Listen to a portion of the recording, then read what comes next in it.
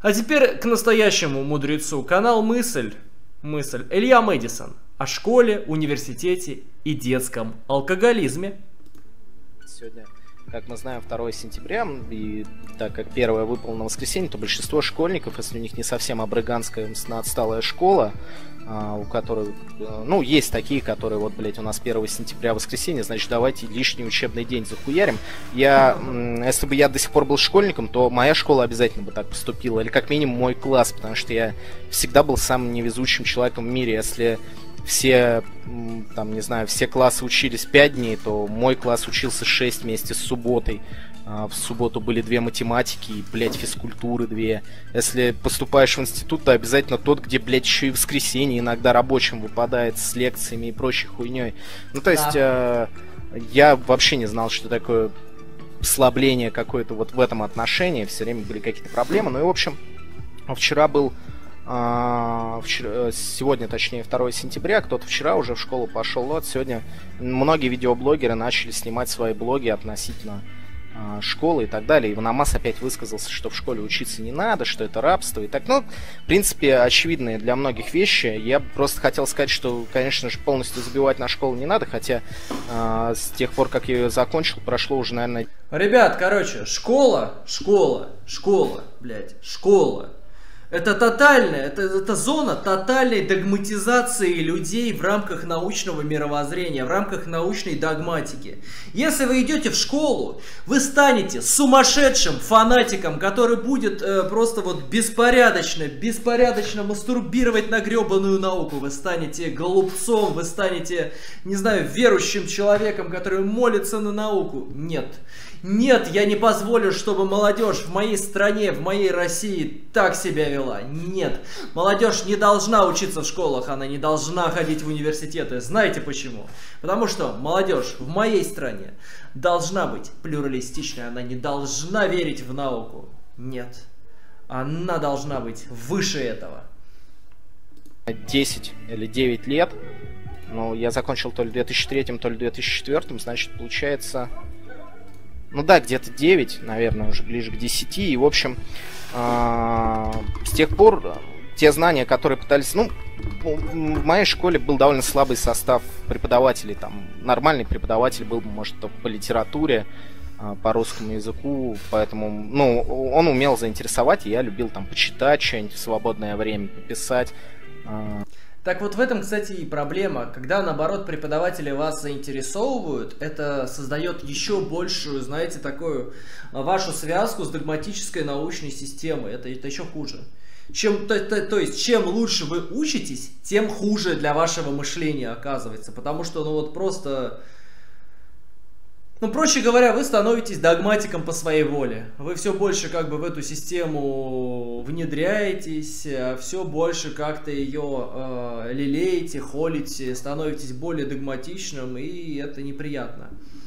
То есть, наоборот, чем, чем больше вас заинтересовывают, тем на самом деле, ну, хуже. На мой взгляд.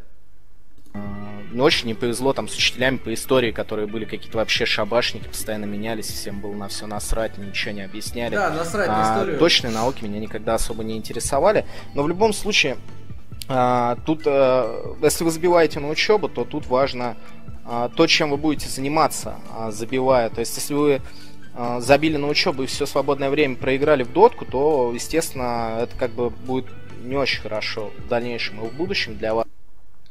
Ну, друзья, я в целом против э, образования современного. Мне современное образование в принципе вообще не нравится.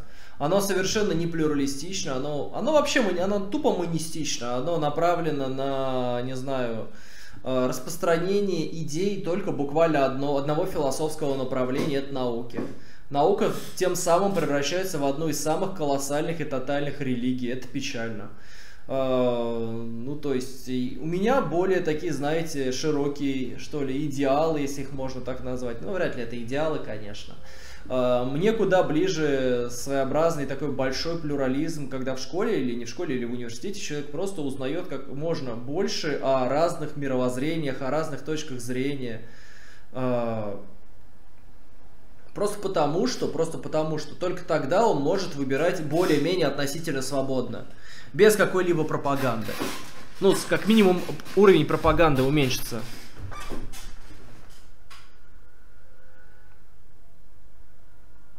Вячеслав пишет, без такого образования ты бы не был таким антисайентистом, каким есть сейчас. Но нет, вряд ли. То есть все, что я знаю, все свои знания я получил так или иначе вопреки образованию. Ну вот серьезно. Вот серьезно. Все, что я прочитал э, по философии, это вопреки образованию. Потом я пошел на философский факультет, это уже потом было, но, блядь, такое. Такое, не я не часть системы, ни в коем случае не часть системы. А, и я реально, я читал вопреки образованию. Максим спрашивает, кстати, а кандидат наук это бездуховный американский мастер или PhD? Ну, это сопоставимо условно с PhD, конечно. А, просто, понимаете, кандидат наук это уже человек, который может работать в университетах, занимать роль доцента и так далее, так далее, так далее. То же самое с PhD. Да. Но сопоставимые роли. Кандидат наук почти равно PhD, плюс-минус. А мастер магистру готов, равен вас. Если вы забили на учебу, но при этом ну, забили, допустим, на там физику, химию, хуй, и прочли зато несколько книг, которые вам лично интересны. Потом, когда у вас появится еще свободное время, вы можете наверстать то, что вы забили там по физике. Да не, ребят, серьезно, если вы ради тупо знаний хотите попасть в университет после... Ну, в школу, понятно, вас просто заставляют ходить. Если вы не пойдете в школу, вас просто будет там, не знаю, в мясо рвать, бить родителей, я не знаю, в детский дом вас отправят, потом, не знаю, на кол еще посадят, в тюрьму, просто потому что вы в школу не будете ходить или что-нибудь еще такое. Ну, то есть со школы тут абсолютная диктатура будет. Приветствую, угнетатель. Абсолютная диктатура будет со школой. В университет, университет – Университет я рекомендую выбирать, ну вот, э, по каким-то таким непознавательным критериям. Ну, то есть всю литературу, которую вы захотите прочитать по философии, вы можете найти ее в интернете. То есть почти всю вы можете отыскать в интернете и свободно ее читать. Если вы хотите найти литературу художественную, она тоже почти вся находится в интернете. Поступать ради того, чтобы читать художественную литературу и пытаться в ней разобраться в университеты, не обязательно. Более того, вы можете читать научные статьи, если вас даже это интересует, не учась в университете, это тоже нормально. Другой вопрос, другой вопрос, зачем нужно образование, в котором существуют оценки, в котором существует там то-то и то-то, оно нужно в основном для практических всяких дисциплин, типа медицины, типа инженерии, где людям нужно проверить, что вы, начитавшись какой-то литературы сами или не сами, не угробите при этом людей, не построите какую-нибудь там машину смерти внезапно, которая просто развалится, не знаю, ну, то есть понятно, и инженерия, инженерия проверяет вашу профпригодность, как минимум. А относительно познавательных различных дисциплин, да, блядь, ребят, занимайтесь этим сами. В чем преимущество? Да, именно для работки, Вячеслав, для работки, для работки, да, для работки. Это, конечно, плохо, что научная система, опять же, совмещается с рабочей системой современности, но это, это греха современного общества. А греха. А, науку от, а, так, науку от такого образования я бы отдалил. Причем максимально отдалил. Ну, не максимально, но так средне отдалил. Оставил бы, оставил бы науку внутри образования, но каким бы, каким-то образом все бы это преобразовал, чтобы ее там было меньше. Но честно, ребят, это же реально очень странно все. Поехали дальше Мэдисона смотреть. Физики и химии. То есть как-то распределять свое время свободное, которое появляется, если вы откровенно сдвигаете на учебу, и какой-то процент времени отдавать под саморазвитие. И тогда, в принципе, а, по большому счету, то, что вот, вот эта система оценок и так далее, она вообще не важна будет для вас, потому что... Не, ну, честно, с системой оценок тоже солидарен с Мэдисоном, нахуй, систему оценок по тем дисциплинам, которые не являются практическими. Вот. Вот там, где у нас имеется практика, мы должны хотя бы оценить э, работу нашего студента по системе годен-не годен. Умеет или не умеет, короче. Умеет ли хирург вырезать аппендицит? Или не умеет хирург вырезать аппендицит? Нам это важно. Нам это важно знать, умеет он или не умеет. Потому что реально в аттестаты во все остальное никогда не смотрят. Абсолютная правда то, что... Ну, я, я просто не очень знаю систему ЕГЭ. Я как бы заканчивал еще тогда, когда ЕГЭ не было. Это, конечно, на то, что я слышал. Ну, матан не практика. И вы его можете сами осваивать. Слышал, по-моему, это, конечно, полный маразм. А, никакого отношения к вообще адекватной системе образования не имеет. Я когда в институте учился, у нас пытались какую-то болонскую систему ввести. Это Ну, и болонская система, и ЕГЭ значительно лучше того, что было в Советском Союзе. То есть, как это было в Советском Союзе? А, сидит жирная тетка. Тетка жирная, злая жирная тетка. А от ее отношения к вам будет зависеть ваша оценка. Она считает, что вы тупой мудозвон. Все, в лучшем случае у вас будет тройка. Поздравляю. Охуенная система оценивания. А, ЕГЭ в этом смысле хоть как-то пытается в какую-то беспристрастность, объективность. То же самое с болонской системой, она пытается все до цифр скатить. Ну, то есть, понимаете, с болонской системой. Вот вы посещаете. А, вот вы там, не знаю, сдаете какие-то тесты, какие-то экзамены, все делаете, у вас все получается, и в конце а, непосредственно обучения того или иного сегмента обучения у вас уже набрано определенное количество баллов. В журнале написано. И преподаватель, даже если он считает вас конченным мудоебом, и даже если он поставит вам тройку за экзамен, за экзамен, он будет вынужден поставить вам четверку или пятерку за всю дисциплину, потому что у вас тупо набрались баллы. Это хорошо. Это просто хорошо вы перестаете быть зависимым от одного преподавателя. А, не знаю, сумасбродство, глупость, тупость и отношения с одним человеком на вас больше не влияют практически, понимаете? Это круто, это большая свобода, это реально хорошо. ЕГЭ это хорошо.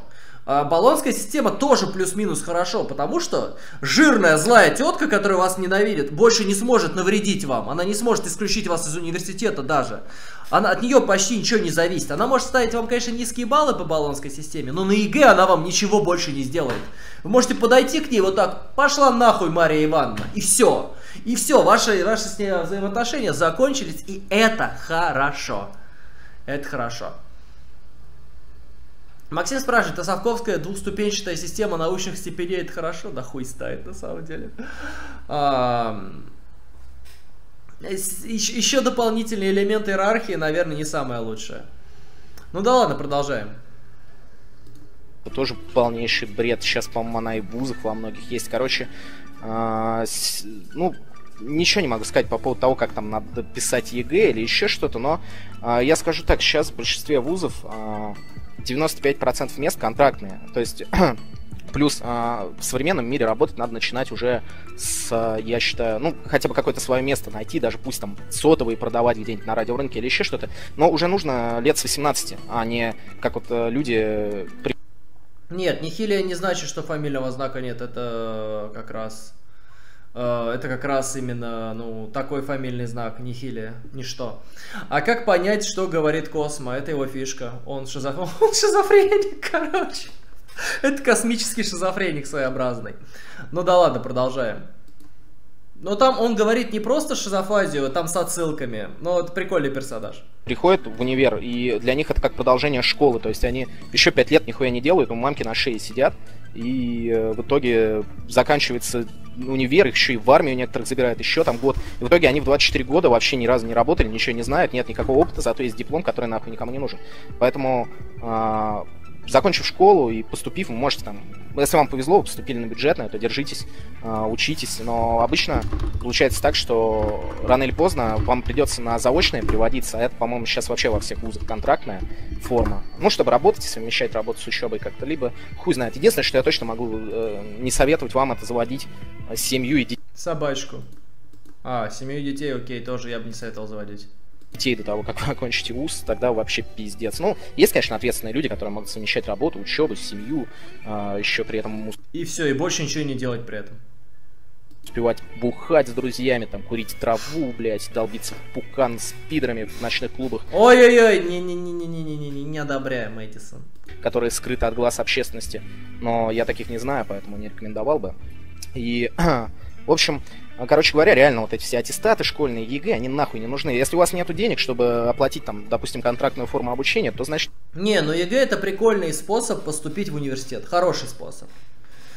То есть э, какие-то мудаки, какие-то мудаки, условно говоря, преподаватели мудаки, а в разных вузах много мудаческих преподавателей, я как бы сам одним, одним из них скоро буду, а, не повлияют на вашу жизнь никаким образом. То есть вы можете то есть, нет, э, повлияют, конечно, у них есть способы повлиять, но этих способов стало меньше, это хорошо.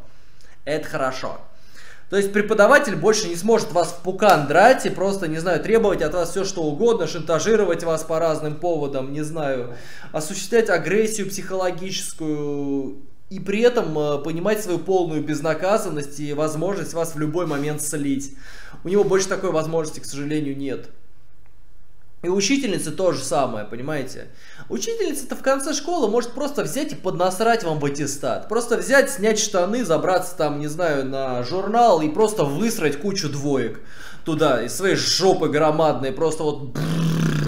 И у вас будет, блядь, 0 баллов, понимаете? Но вы можете сдать ЕГЭ. Сдать ЕГЭ на 5.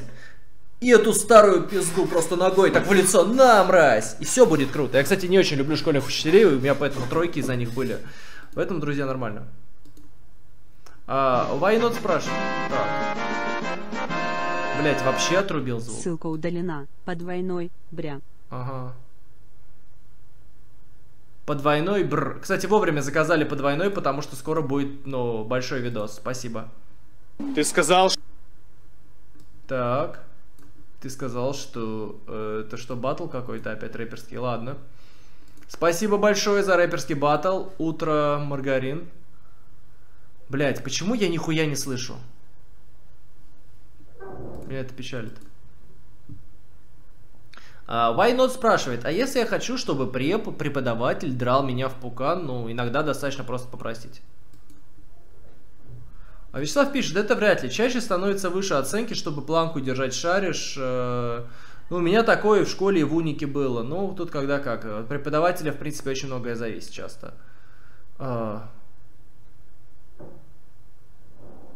а звук был сейчас на донате, я просто не слышал. У меня просто в наушнике он не пошел почему-то. Пиздец, просто ебанутая хуйня. Ну ладно. Вроде бы был звук доната. У вас вообще не судьба как бы в дальнейшем. Ну, если не поступите на бюджетные, которые большинство там выходцам из Дагестана с более охуенным ЕГЭ все равно предоставят и так далее. Но я его не слышал, к сожалению, это плохо. Ну, сейчас, в принципе, уровень жизни такой, что э, в Москве большинство родителей могут оплатить учебу своих детей. Что касается э, какой-нибудь провинции, то, скорее всего, в провинции все равно, как бы, блядь, и учебных заведений нормальных нет, и нихуя нету. Поэтому, как и все остальные, ебашьте в шахту там, с бабкой, вкалывать. Не знаю в общем, мне трудно сказать что-то определенное про провинцию, но реально, э, я как бы аттестат... Не, в провинции все очень херово, рашки, ребят, ну, то есть... Вот вы меня спасаете. То есть, э, я, наверное, один из самых богатых людей в пригороде. 60 рублей, 60 тысяч рублей в месяц. Я прям, ну вот, э, топ. Топ-чувак, который живет там, не знаю, в большой квартире теперь, благодаря вам, друзья. Э, я, я себя реально богом чувствую в этой самой провинции, к сожалению. Хотя вроде бы по меркам Питера получаю не так уж и много. Вполне так нормально, знаете. Раньше я и мечтать не мог о том, что я буду 60 тысяч в месяц зарабатывать на стримах. У меня самый худший был в классе и вообще в школе, потому что в 11 классе я вообще не ходил, мне, а, у меня была исправка, я ногу сломал очень серьезно и просто забил. И у меня, по-моему, единственное в классе были тройки, сразу там штук 9 вообще в аттестате.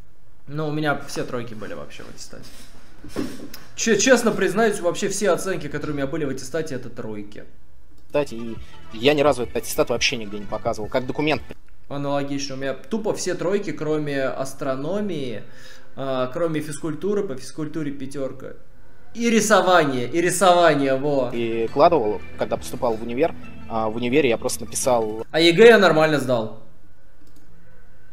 Нет, по физре пятерка, по труду тройка. Я, мне похуй было на труд, конечно же.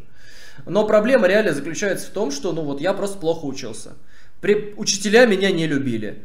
Но ЕГЭ я сдал хорошо. Почти все на четверке, как бы.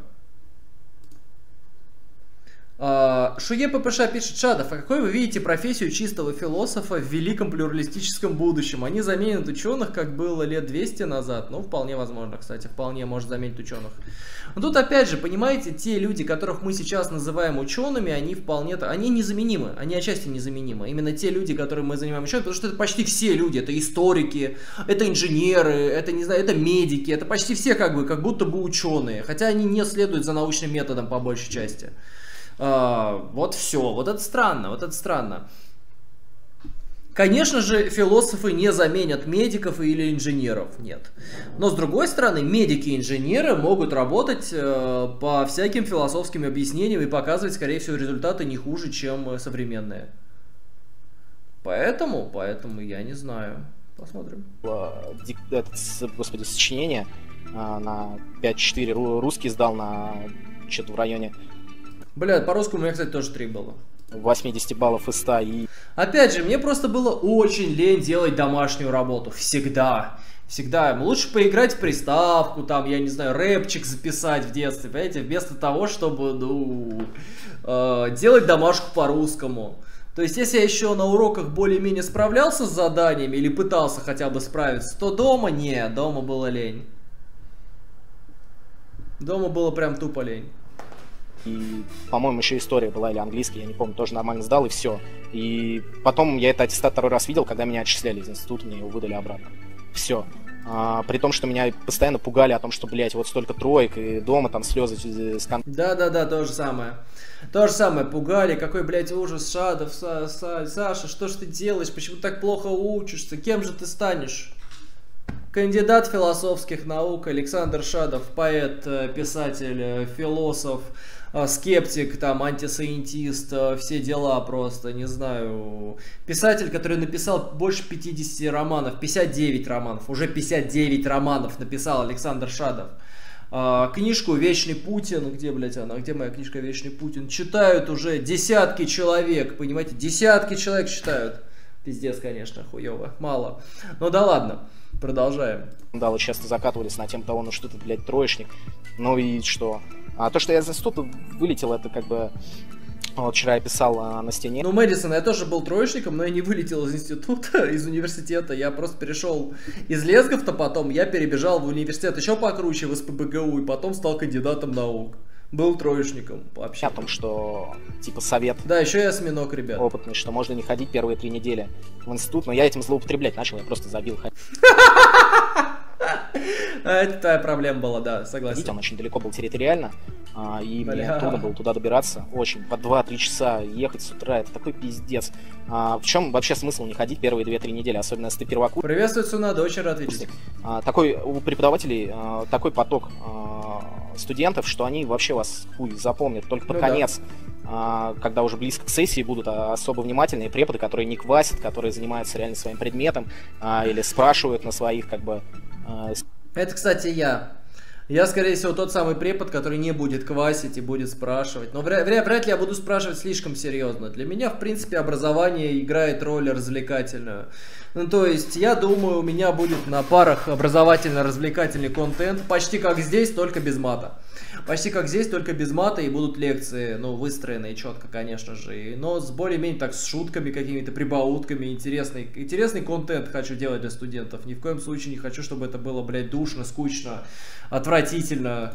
семинарах. А, Вот они, короче, будут запоминать потихоньку, но первые три недели они все равно нихуя не запомнят, ни как вы выглядите. Материал будут давать э, примерно то же, что в школе, наверное, давали. Я уже не помню, что там на первом курсе, но как бы на втором Так ты же вылетел, чувак, как ты можешь помнить?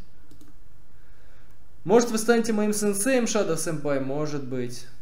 На парах буду смотреть видео Мэдисона, понятно. Ну, может быть, да. и третьем вы сами разберетесь, где можно забивать, где нет. А, но, в общем, на первом курсе можно первые три недели вообще нихуя не ходить. Единственная трудность будет потом это разобраться с расписанием, с аудиториями, потому что будете приходить, как первоклассник, хуй знает, Да. куда идти, что делать. Но это стоит того, чтобы три недели еще хуй попинать, тем более сейчас погода просто отличная. Я сегодня уходил на улицу, много шоколады ходит, причем пьяная, с портфелями. Это прикольно посмотреть, потому что когда а, я учился 1 сентября, еще не был таким днем жесткача, Так.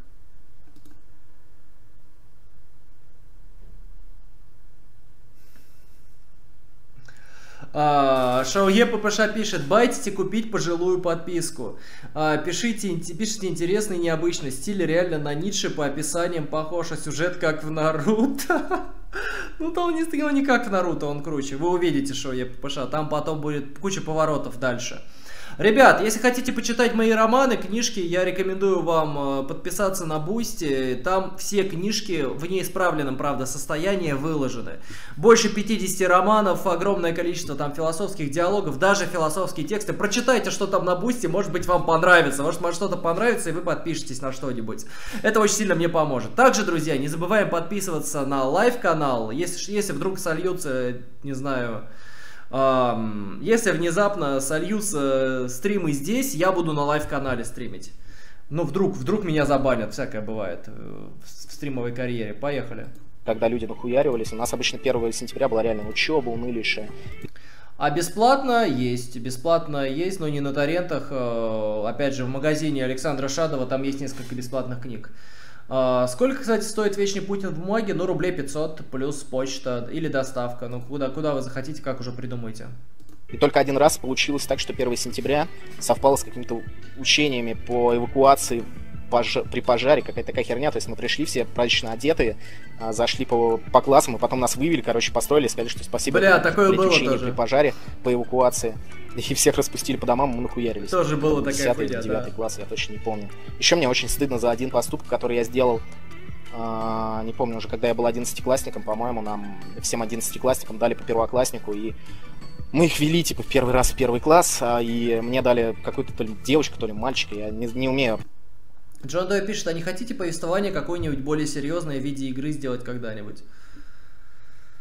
У меня я пытался сделать несколько игр, но все мои проекты, они подразумевали несколько лет работы, получается. То, что я сейчас делаю с Супер Маргиналом, там, с, с Жмелевским, Ежи Сарматом, это настолько халява по сравнению с тем, что я думал делать. Я думал сделать игру, которая построена на тотальном рандоме, в которой просто разные элементы событий просто комбинируются случайно, и это никак от игрока не зависит. И каждый раз, когда игрок во что-то играет в эту игру, у него получаются разные комбинации событий из этого выстраиваются.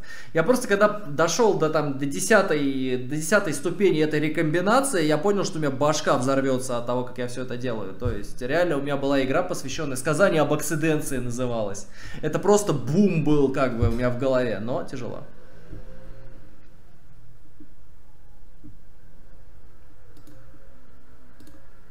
Определять пол детей до 20 лет, а, и поэтому...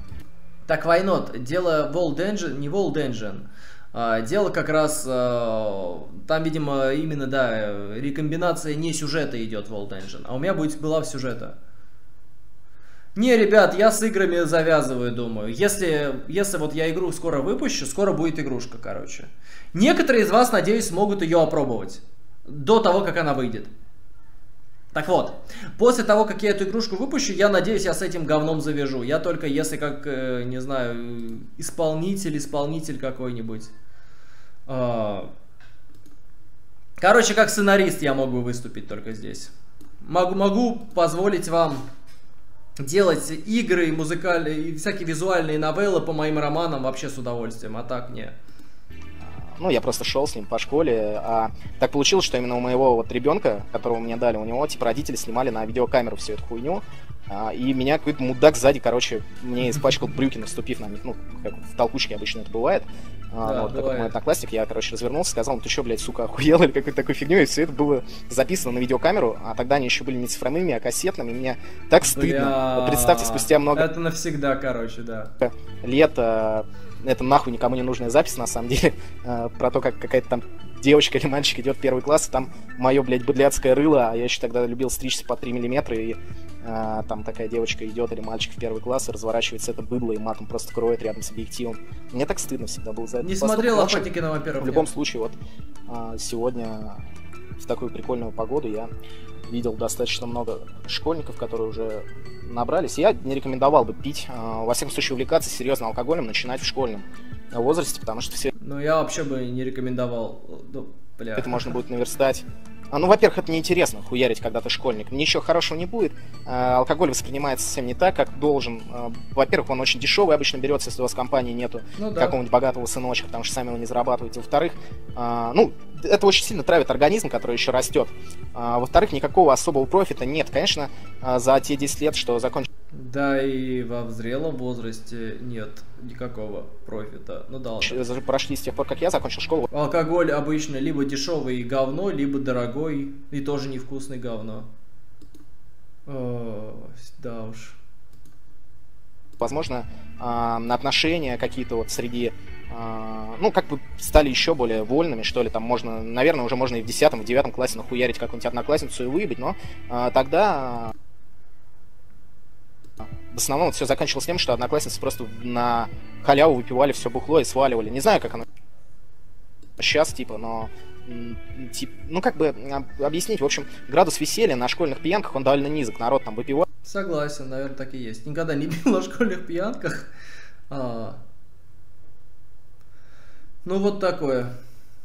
Выпивает, пытается побахвалиться перед друг другом, выпивает по две кружки пива, какой-то стопарь водки, пить еще не умеет, все облевываются, еще кому-нибудь ебальник кто-нибудь даст. Короче, полное говно, а, веселья вообще никакого, никакой души, потому что, ну, как бы, когда мужики выпивают, они могут там байки потравить и так далее. Естественно, дети, они всегда косят под своих родителей, у кого родители любят выпить, а, на попойках и школьных все вот так вот пытаются быть похожими на своих отцов, что-то там заморить, но Печально. так как э, опыта жизненного никакого, поговорить по большому счету не о чем, только там, блядь, учителей да телок обсудить, и в основном, блядь, все это происходит в атмосфере жесткого сперматоксикоза, где всегда тема одна, давайте баб позовем. Короче, такие пьянки, они на редкость безблагодатны, поэтому в школьные времена можно не хуярить, вообще абсолютно спокойно, вы ничего не потеряете. Более того, сэкономите немножко здоровья, чтобы уже по И денег. полной оттянуться в институте и в дальнейшей как бы жизни, и там уже Да, прям потом, а потом бухать уже заебись. будут и нормальные друзья, и нормальные разговоры, Ну, на самом деле, реально пить как-то... Я не то чтобы э, за здоровье, я не то чтобы против э, людей, которые выпивают, но я, честно, я не понимаю тему с алкоголем. Никогда не понимал. Запах алкоголя мне не нравится. Поведение людей в пьяном состоянии мне не нравится. Вообще всегда. То есть человек резко тупеет. Даже в самом, когда он немножко выпил, человек резко тупеет. Его уровень интеллекта становится ну, вот просто ниже на несколько пунктов автоматически. А, С ним разговаривать становится практически невозможно на интересные темы. То есть он даже, даже в состоянии небольшого такого вот, не знаю, алкогольного опьянения, а, этот человек уже не, а, не предназначен для ведения полноценной беседы. Ну, я не знаю, Мартар, Мартар, я не знаю, меня, я всегда так, я всегда вижу людей, которые они хоть немножко выпьют, они хоть немножко выпьют, и все, блядь, поехало. Этот человек уже нормально говорить не может. Не то, чтобы у него даже язык заплетается, но просто он теряет последовательность разговора. Он, он, не, он не очень хорошо следит за тем, что вы говорите. Больше, не знаю, в себя, наверное, уходит. А, Больше говорит о себе. И а, как-то контакт при этом сделать не получается. Ну, если вы хотите выебать этого человека, конечно, ну, алкоголь здесь, может быть, поможет. Потому что человек в данном случае абсолютно в себе. Ему нравится, когда вы о нем говорите, а, когда вы присутствуете просто рядом. Он будет, наверное, больше, не знаю, вашу пользу воспринимать э, то, что происходит. Но если вы хотите с человеком поговорить, я не знаю, я ни разу не видел, чтобы алкоголь благотворно влиял на вот эту способность людей общаться. Честно. Ну вот, вот, вот честно, вот просто ни разу не встречал. На- У меня негативный опыт общения с пьющими людьми обычно просто, и поэтому я не знаю, как это работает. нормальное хуярилово. Вот. Эй, Ахова, бля, ну, у Хова пиздец тоже. А, Ну, у Хова просто всегда такой стиль общения, когда он общается всегда тупо сам с собой, иногда сливает ешь сармата, походу, бывает. И, кроме того, появятся первые деньги, вы не будете пить там водку, блядь, из Осетии, там, пиво из баклажек и прочее дерьмо, что приведет к тому, что вы будете пить качественный алкоголь. Я не пропагандирую нездоровый образ жизни, алкоголизм и так далее, но прекрасно понимаю, в какой стране мы живем. Я не, не, не пытаюсь... Я все равно понимаю, что воспитать, там, тем более я хуёвый пример, и пытаться кому-то насадить здоровый образ жизни, как это делают сектанты. Не, я здесь не понимаю вообще фишки здорового образа жизни. Я не за здоровый образ жизни, мне похеру на здоровый образ жизни, честно. Но алкоголь э, просто делает из людей быдло. Ну, вот по моему опыту, по большей части, я вижу человека, если он выпил, даже если это там, не знаю, доктор наук, известный, замечательный профессор, он становится, ну, просто невыносим скорее от этого. Поэтому странно, поэтому странно.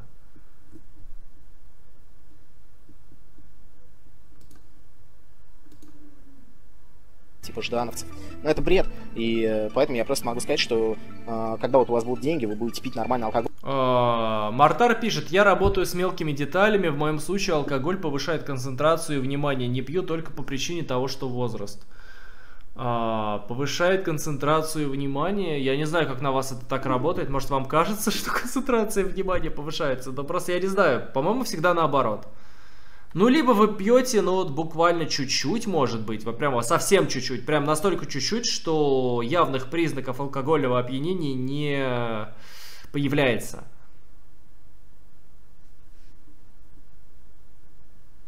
если вы начнете употреблять в 20, в 19, А как же жмых?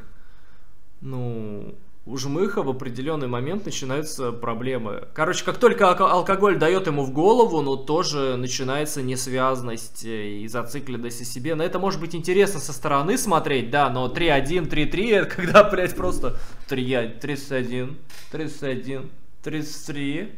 Ну вот когда вот, вот до этого мы доходим, это полный пиздец просто. Uh, ушел спать, да. просто жесть.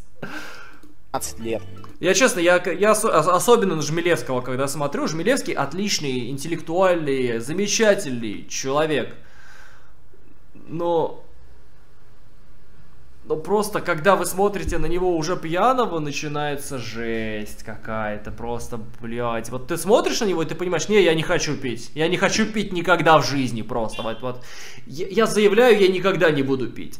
А, самый, самый, самый, самый, самый, самый, не знаю, яркий пример а, Самый яркий пропагандист здорового образа жизни в интернете это Жмелевский. Жмелевский. Потому что то, что он делает пьяный, как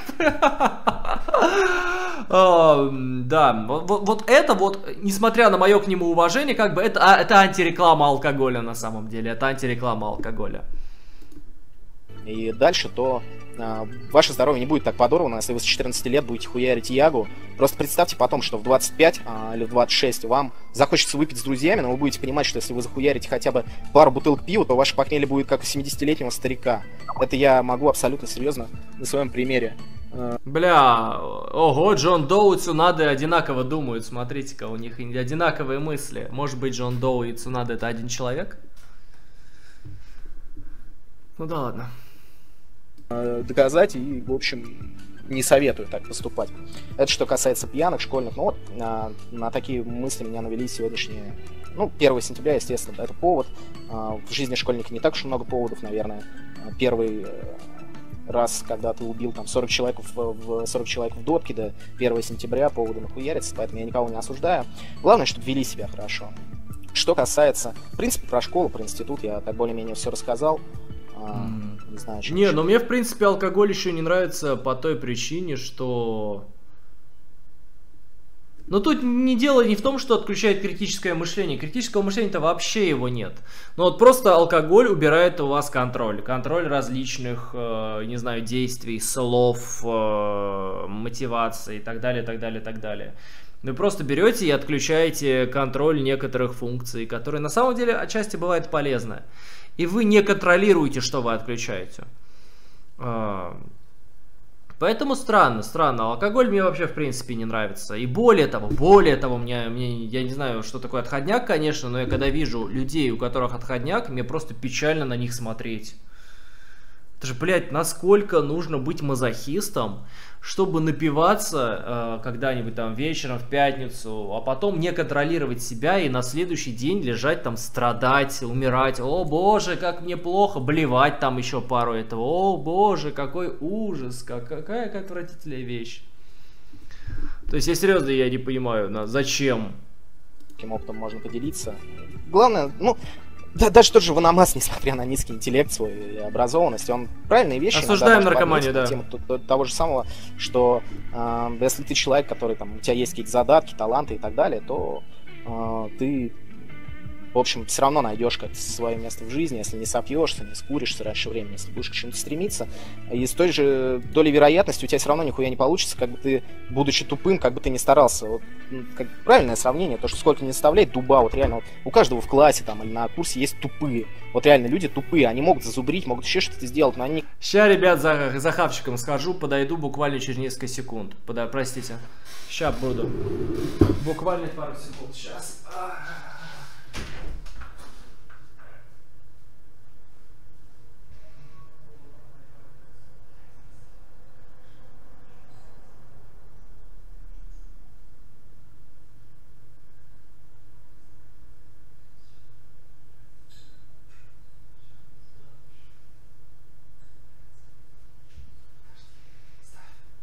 Так, друзья, я почти вернулся. Сейчас еще чуть-чуть, и я буду здесь. Простите. Еда, еда, еда сама себя принесет.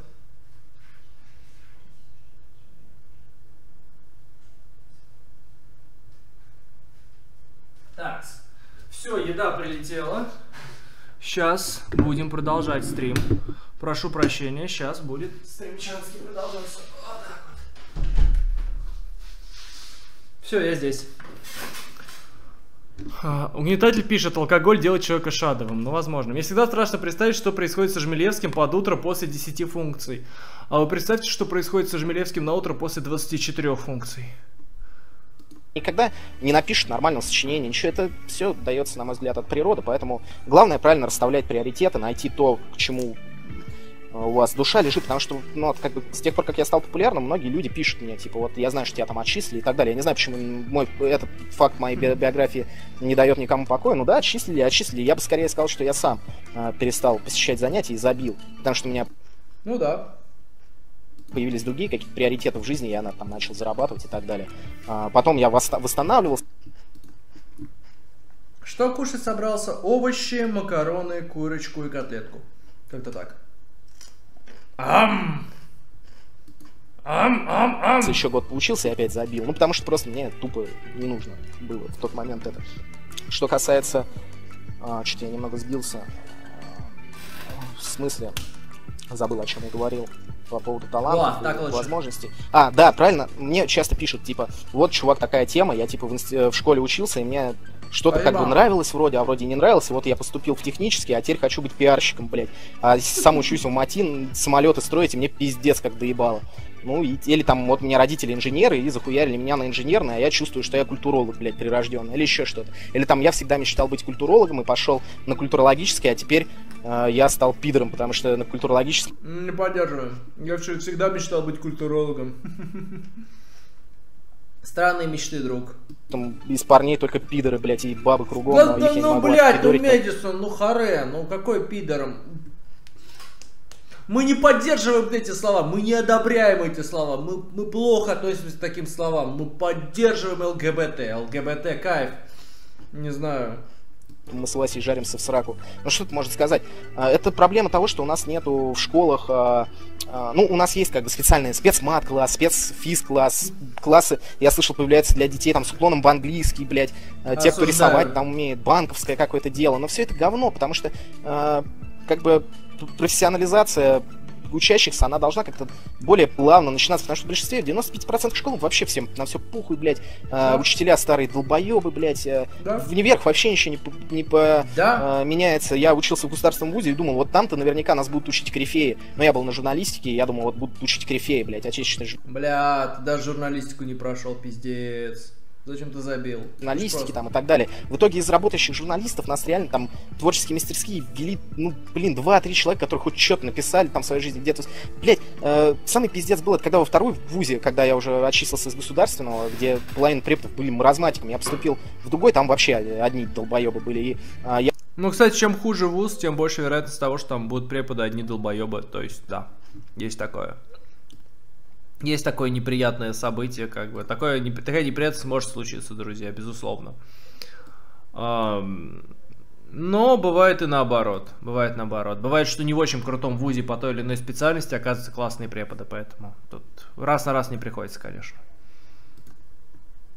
Не все потеряно, если вы поступили в плохой вуз, но чаще, ну, скорее всего, там будет много долбоебов, прям вообще конченых. Я вот тогда, по-моему, у меня был год редакторской работы, в трудовой книжке записанной уже, и реально. И я сдавал какому-то еблану, блядь, редакторское дело. Я, редакторское мастерство, или как эта хуйня называлась, я не помню. И он вообще нихуя не понимал. То есть он реально хуже меня соображает, никогда по профессии не работал, и пытается у меня что-то спросить, э, выставить меня э, там неучим каким-то, просто потому что я на его пару ни разу не ходил, потому что я пер- первый раз пришел, охуел от этого непрофессионализма и понял, что мне тут делать нечего. Кроме того, он на пидора Ну да. был похож. ну, так блядь, вот, ну а, Мэдисон не одобряет. Просто, блин, а, никто вас нормально не направит. Во-первых, ну, родителей стоит слушаться, на самом деле, но в таких ситуациях, при- прикиньте, вот вы поступите, и 5 ебаных лет вам учиться, Ой, и да. после первого курса нихуя не съебешься, скорее всего, потому что если ты мужик... Ну, бабам легче, бабам вообще можно не учиться, если она не симпатичная. А если не симпатичная, то лучше сразу Ну, я не согласен с сексизмом Ильи Мэдисона здесь, безусловно, довольно такой пошлый сексизм, ну... Далеко не всем бабам можно не учиться, большинству придется работать так или иначе. Даже красивым, по большей части, даже по красивым, так что... э, Сорян, сорян. А, вот. Ну и также, ну в принципе, да, понятно, ты в армию отправляешься. Если ты парень, ты отправляешься в армию, если ты с первого курса сливаешься. Вообще, если ты сливаешься.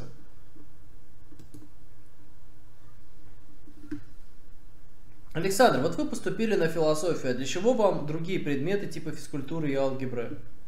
В смысле, нафига? Ну, я все умею, я, я могу стоять на одной руке зато. себя убить, потому что ваша жизнь все равно будет Единственный философ, который может стоять на одной руке. страданием на 100%, блядь, говеным. А если вы симпатичны, то рано или поздно найдете хуй нужный.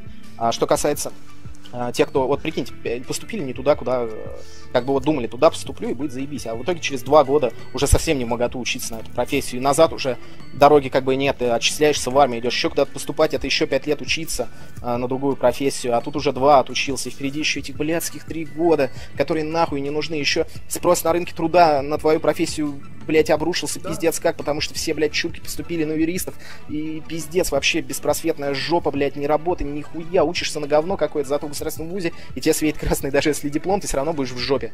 И чтобы таких ситуаций не было, э, наши школы, вместо того, чтобы какую-то профильную тематику вводить, они, блядь, вводят ЕГЭ, который вообще всех под одну гребенку равняет. Хуй его знает, короче говоря. А, Так ЕГЭ тем самым и хорошо, что оно равняет всех под одну гребенку.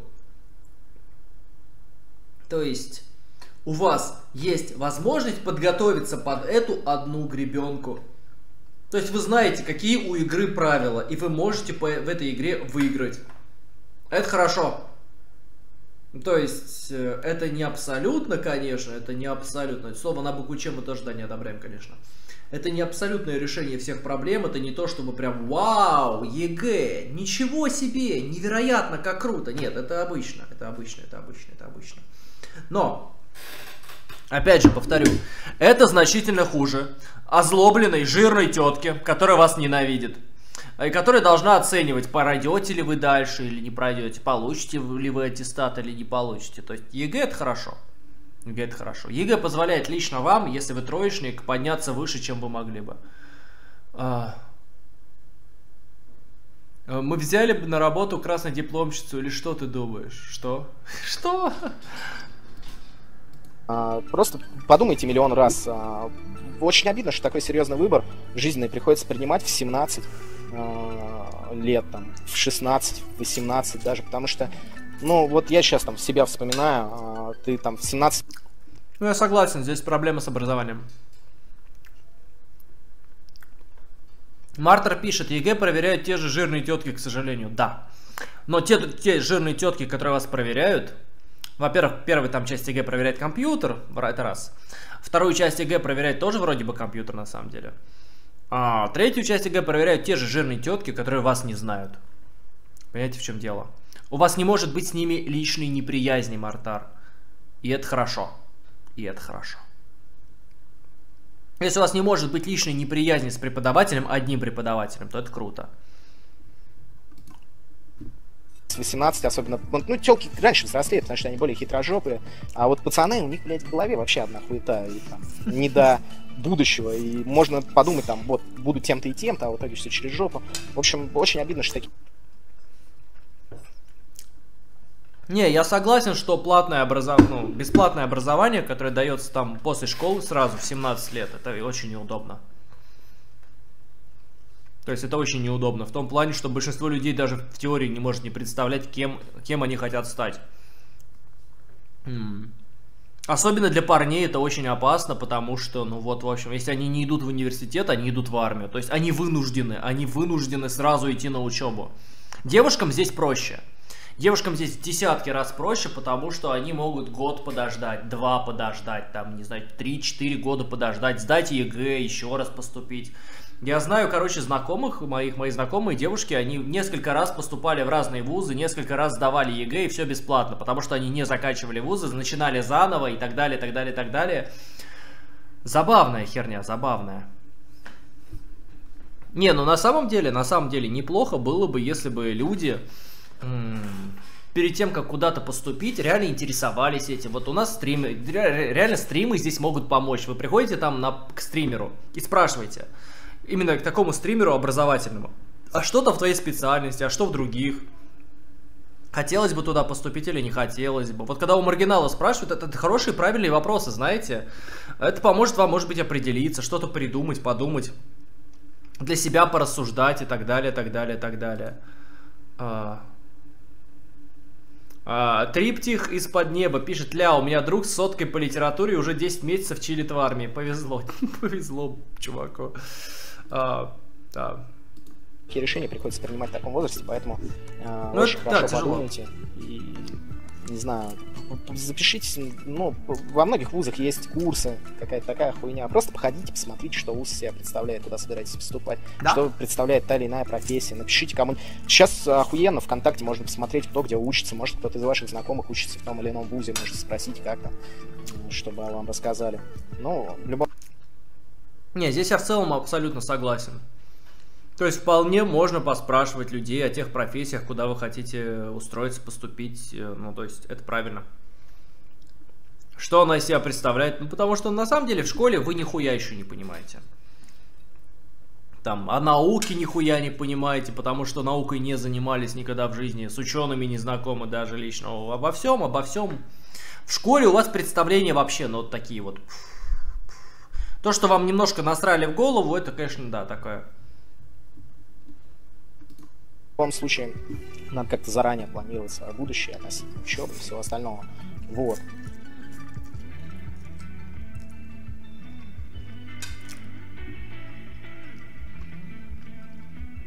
Не, с Мэдисоном я тут во многом согласен, конечно. Мэдисон в этом смысле правильно все говорит.